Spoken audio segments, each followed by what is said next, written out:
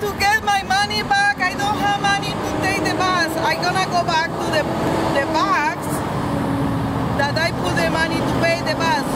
I hope it, ah, I see. See, I'm gonna open.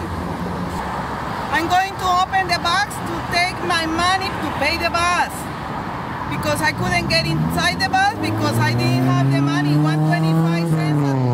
I need to put inside the, the, the box in the bus, no outside in these boxes. I thought was in these boxes, but it's my first time taking the bus. Oh, I thought this. You see? The, it's eating the money.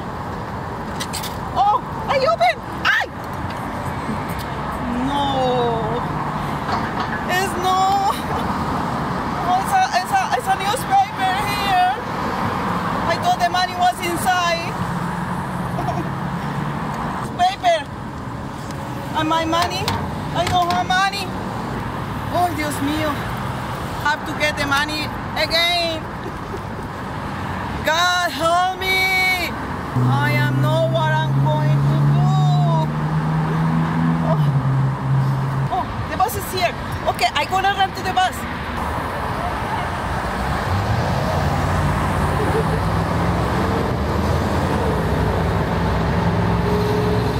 gonna be late. Oh my god. I have to pick up my daughter from from the school. No, I don't have money for taxi. And I put the money in the box. What am I gonna do? Uh, do you speak Spanish? Somebody has 125 cents.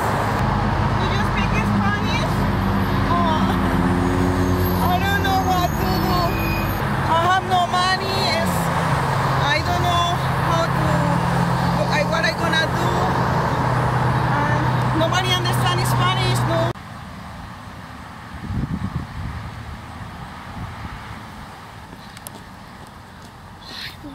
You know, you cannot imagine. I was going through. Bus driver didn't let me to go inside the bus. I had to get out because I didn't have the money. I told him in Spanish, and I say, okay, I have to take the bus because what I, how I gonna do, and I gonna explain to the to, to, to see if he can understand me.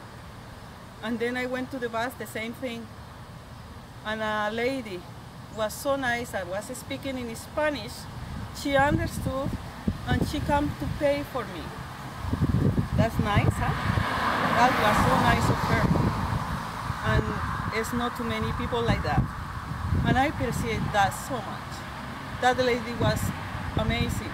Made my day because I, he wants to get me out again from the bus. It's drama, it's real. It's a real situation that happens me more than 20 years ago when I came to Canada. It sounds a little funny and stupid. In that moment, it was not funny, but now it's funny. That's why I want to share it with you. Like the video, subscribe to the channel for more videos, also more comedies. Thank you. Have a nice day.